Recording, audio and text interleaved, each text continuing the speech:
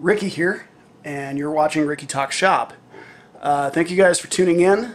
Today we're uh, we're back with our uh, Red Llama project. If you haven't seen the first video, be sure to check that out. Um, after after I shot that first video, I uh, I talked to my customer, kind of discussed exactly what he wanted, and we came up with two versions of the pedal. The first one over here is the same as his circuit in his pedal that he sent me. Um, the only thing we changed is I added a voltage switch. Um, if you watch the other video, that was the uh, the mod that made the biggest difference. Um, was changing uh, changing the voltage that feeds the pedal. Um, I did experiment with uh, pot to adjust that. It, it just felt kind of twitchy and uh, I, I, didn't think it worked really well. So we went with a switch. Um, and I'll show you what that does in a minute.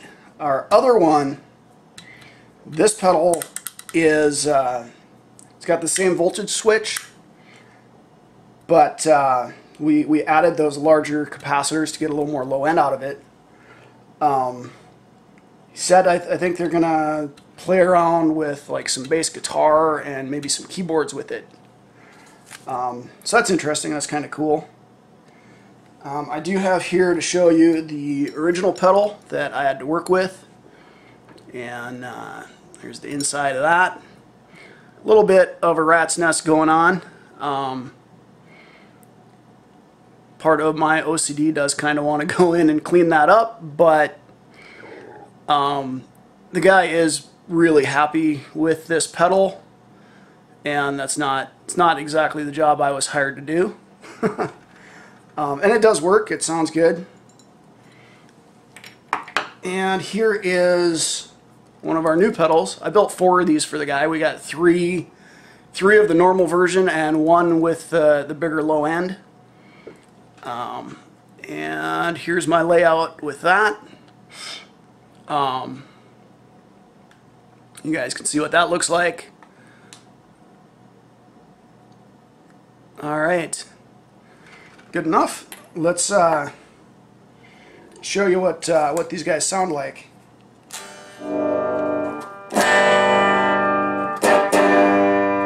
So here's our uh, our normal pedal and this is in uh, the high voltage mode.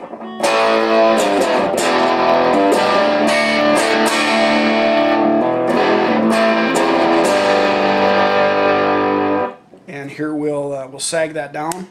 You'll see the the LED um, dims a bit.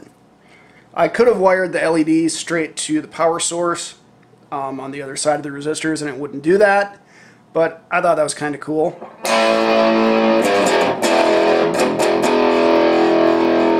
There's that, that little bit fuzzy low end. And the top end just isn't as punchy.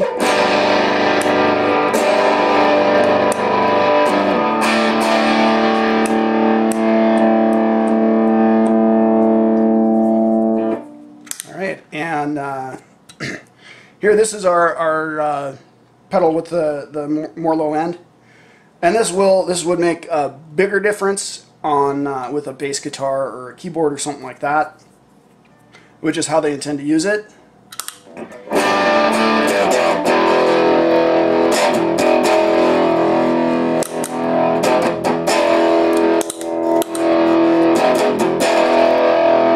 You can kind of hear that difference there. Um, the top end, the mids feel very similar. Um, here's a low voltage mode.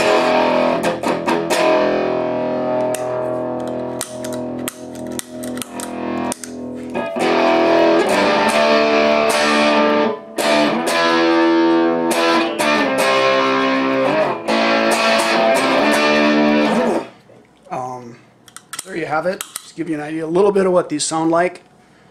Um, this, this I got to say, this was a really, really fun project. Um, this is this is a little bit different circuit because it uses that uh, digital IC chip rather than a traditional op amp. Um, so that, that's fun to play with, a little different. Um, there we have it. I'll, uh, I'll get these uh, packaged up and uh, ready to ship out. Um, until next time, thank you guys for watching. Have a good day.